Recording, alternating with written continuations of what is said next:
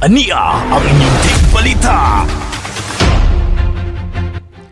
Higala kumusta og uh, maayong nga buntag na usab ka natong uh, tanan Kabisayan og uh, Mindanao kini si Johnny Amore.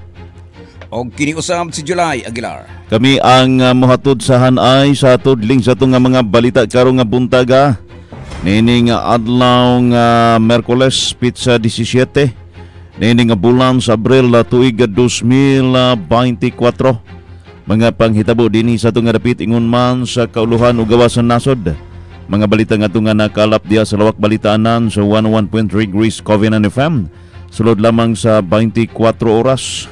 Atong oras sa Tibok Pilipinas, alas 7.1 sa buntag. Oras sa tod kanato sa maayong kabubuton sa Talabunga Plus Herbal Capsule o kiniusab nga programa hatod kanato sa maayong kabubuton sa DTX Coffee Mix. DXGC. Balitang alas 7. Og karon ang uh, uluhan sa hanay sa tudling sa tunga mga balita karong nga buntaga. Matag pitik sa orasan. Adunay mga panghitabo sa atong katilingban. ug mga balita nga angayan ninyong masayran. Kini ang DXGC. Bali Balitang alas 7.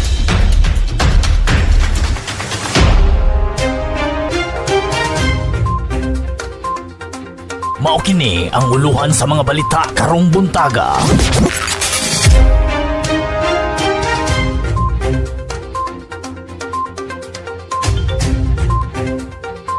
Og karon ang uh, uluhan sa hanay sa tudling sa tunga mga balita karong nga buntaga. Lima ka drug personality sikop sa gipagayo nga drug bypass operation. DXGC. Balitang alas 7. Og ani usab ang dugang uluhan sa atong mga balita. Mga nasod sa Europe interesadong moapila sa MCA War Games sa West Philippine Sea. DXGC. Balitang alas 7. Laing uluhan sa tudling sa tunga mga balita batan-ong gireklamo kay nahilambigit kini sa paghimog laway nga mga video gi-aresto. DXGC. Balitang alas 7. Og ani usab ang dugang uluhan matud ni Marcos pag may napatay na Pinoy sa West Philippine Sea Mutual Defense Treaty gamiton. DXGC. Balitang alas 7. Laing uh, uluhan sa tudling sa tunga mga balita karong nga buntaga. Amahan nga wala timplahi og kape. Anak gidunggab patay. DXGC. Balitang alas 7. Dugang uluhan usab PNP Joint Operation nanguna sa pag-aresto sa wanted sa Baroy, Lanao del Norte. DXGC. Balitang alas 7. Laing uluhan sa tudling sa tunga mga balita karong nga buntaga magtiayon nga negosyante gi-hold up tunga sa milyon gitangag sa suspitsado. DXGC. Balitang alas 7. Top 7 most wanted person sa regional level nadakpan sa Tudela, Misamis Occidental. DXGC. Balitang alas 7. Laing uluhan sa tudling sa tunga mga balita-balita gikan sa gawas sa nasod mga demonstrador nga mga pro-Palestinian ni sira sa mga highway. DXGC. Balitang alas 7.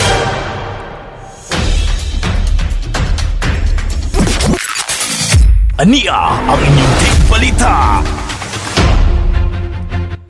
Og karon ang uh, kumpleto nga detalye sa tudling sa atong mga balita. Karong nga buntaga gidakop sa Task Force USAIC Iligan og ubang nga law enforcement agencies sa usa joint operation. Kag hapong adlaw sa may barangay Tipanoy ang usa ka batan-on. Kinsa matud pa nalambigit kini sa pagkuha og laway nga mga video ngadto sa 14 anyos nga batang babae. Leader sa usa ka gang ang suspitsado og initiation sa ilang bag-o nga miyembro ang pagdala og babay og pagpakikilawas nini samtang kuhaan og video sumala ni Police Major Sandrix sa Panulong ang spokesperson sa Iligan City Police Office ang video gipadala sa group chat sa gang. Dugang niya sumala sa suspitsado, wala niya hilabti sa ang babae o gipadala ngadto kaniya ang mga video. Pareho nga minor de edad ang mga biktima o ingon man ang suspitsado. Matutag diyan karon nga mga panahon gikumpiska sa tax force ang cellphone o mga gadgets sa balay sa suspitsado aron masusi sa mga otoridad kinsa nga operasyon gisuportahan o matud pa gisuportahan kini sa LGU Iligan pinaagi usab sa sa programang pagpanalipod sa kabatan-unan dugang ni panulong. DXGC Balitang alas 7 O gani usab ang dugang hanay sa atong mga balita karon buntaga.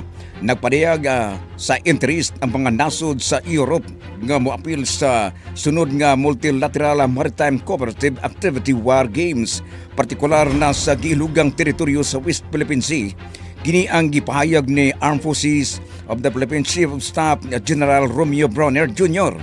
Human ang malampuso nga multilateral MCA nga gipasiugda sa Pilipinas, Estados Unidos, Japan ug Australia niadtong Umbrella City ug nagsilbing ah, nag-obserbar pa lamang ang ah, South Korea, India, Canada, United Kingdom, Thailand, Singapore, Vietnam, Indonesia, Brunei, Malaysia, Germany ug New Zealand.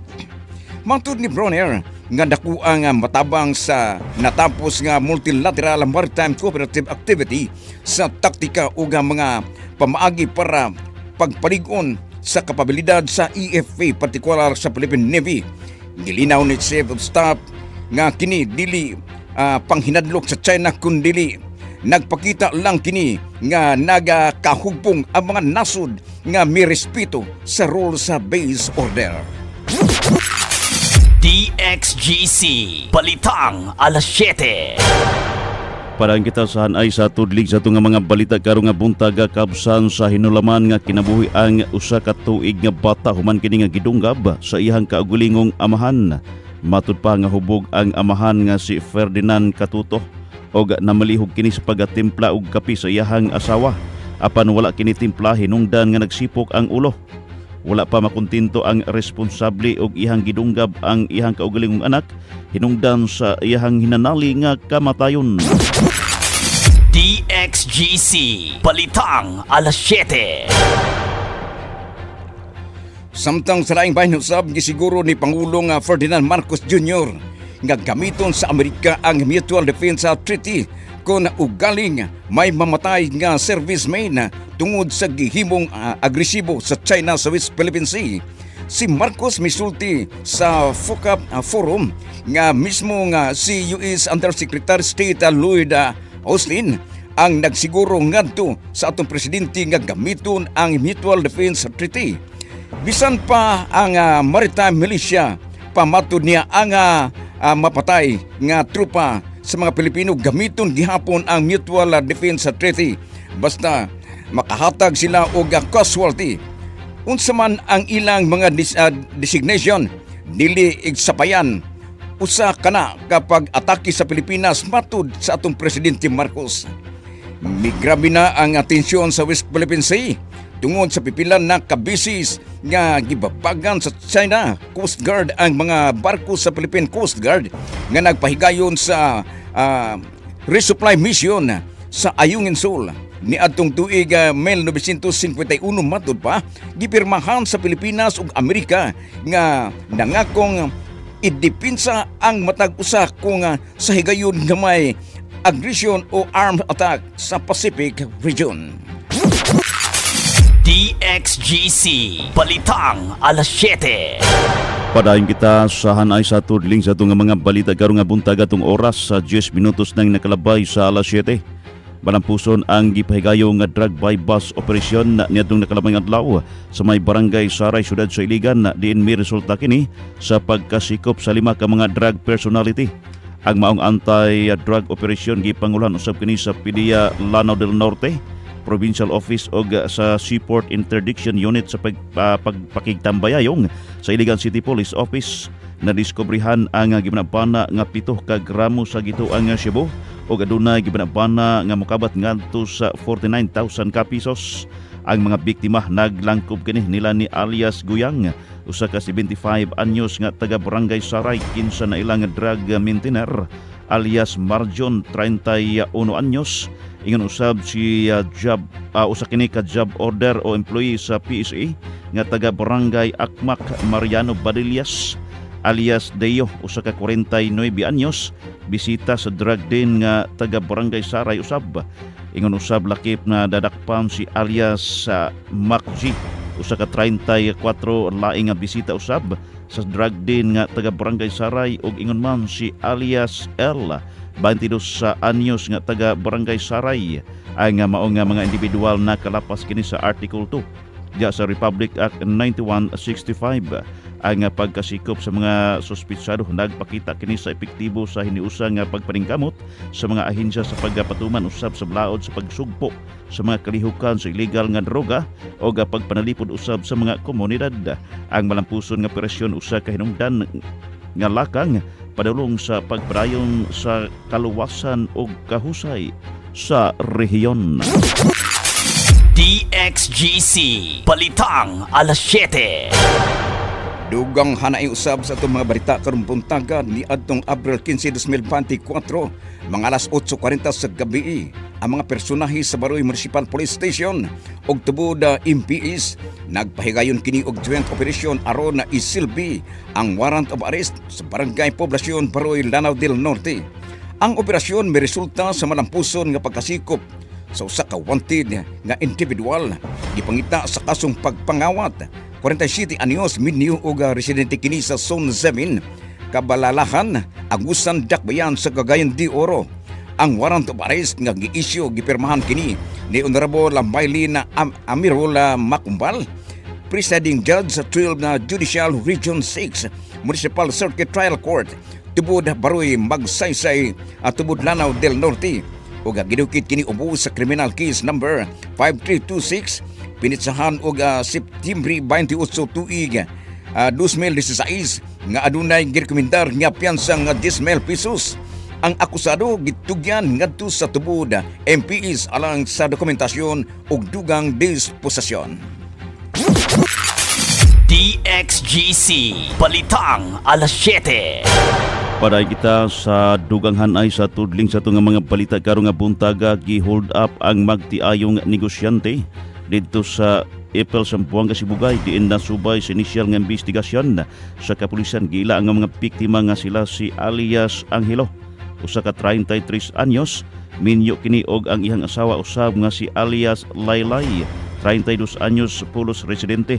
Sa Maya Ipil Sambuanga Sibugay nasayran nga tibok adlaw ang mga biktima nga naa lamang sila nga tindahan o gabugas ug ubang mga green products nga nahimutang usab sa mao dapit Pagkalas sa 8.20 ang takna sa gabi sa susamang adlaw, ang mga biktima nakadesisyon kani nga magsarado sa ilang tindahan. Samtang niuli na sila sa ilang panimalay sakay sa ilang single motor.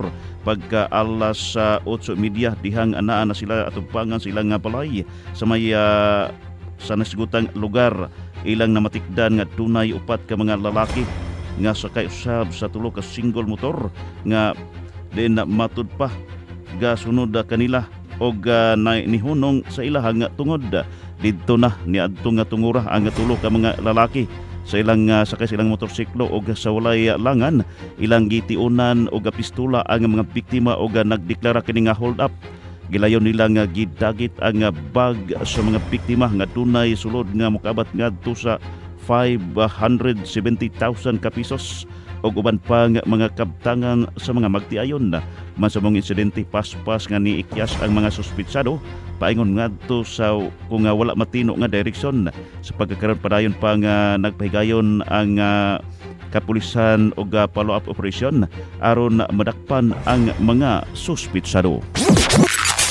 DXGC Balitang alas 7 Samtang sa laing bahin usab ang PNP sa Tudila Municipal Police Station.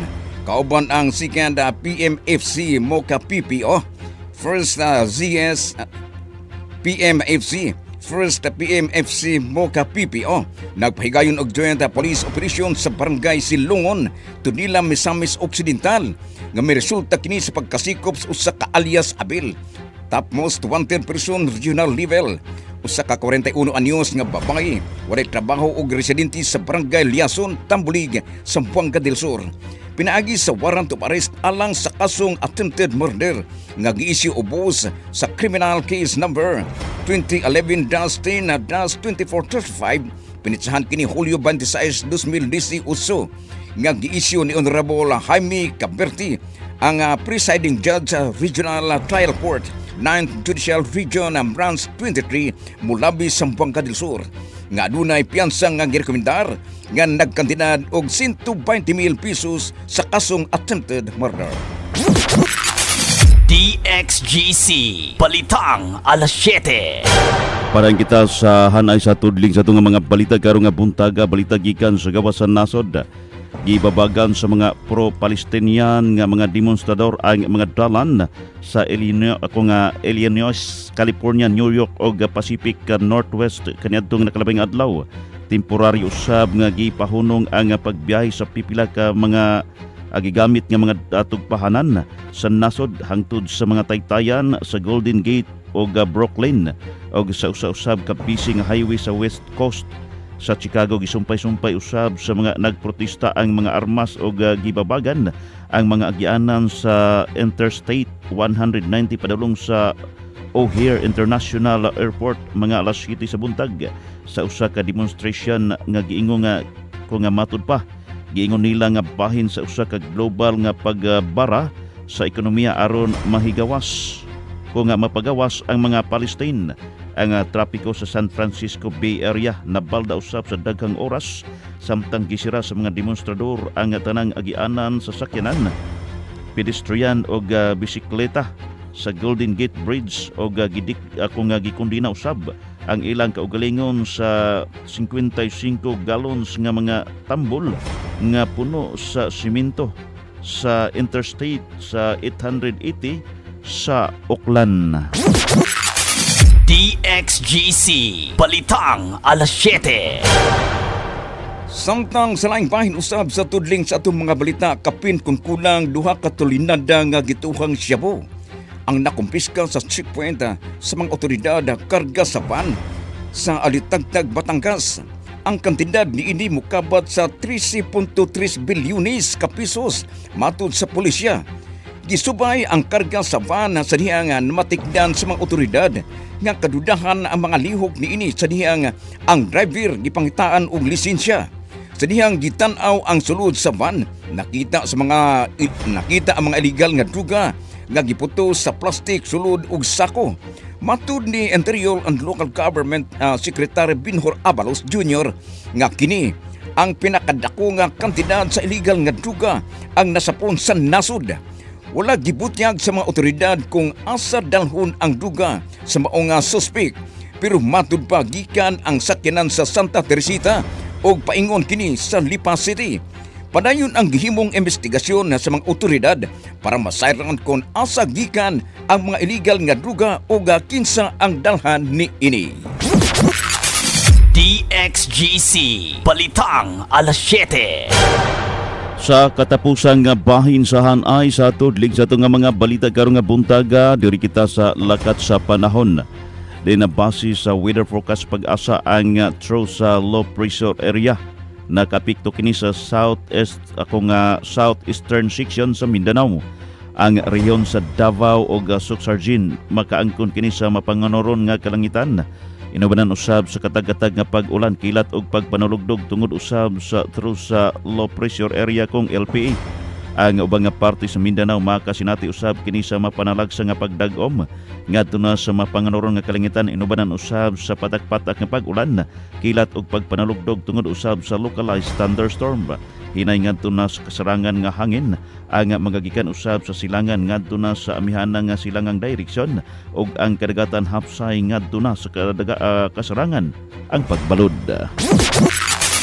DXGC Balitang alas 7 Makuto ang naglangkob sa hanay sa tudling sa tunga mga balita karong nga buntaga niining adlaw nga Merkoles pizza 17 Nini nga bulan sa Abril tuig 2024. Mga balita nga inyo nga nanungog dinhi sa Sibihan sa DXGC 101.3 Greece Covenant FM og inyo usab ka nga mabasa diha sa gula sa pamantalaan og ingon man diha sa social media. Karong nga taod-taod mga suking tigpaminaw, pabuta usab ninyo ang mosunod nga programa, ang lungsod og ang katawhan nga pagadumlaan sa itong regular anchorman engineer Joselito Nonoy Mikiabas. Inyong tigbalita sa kahanginan, Kini si July Aguilar. kiniusab si Gianni Amori Mingon daghang salamat sa inyong pagpaminaw. Maayong buntag kanatong tanan. DXGC Balitang alas 7 The first and only radio station in Bacolod, DXGC 101.3 Grace Covenant FM. Lingaw kaayo.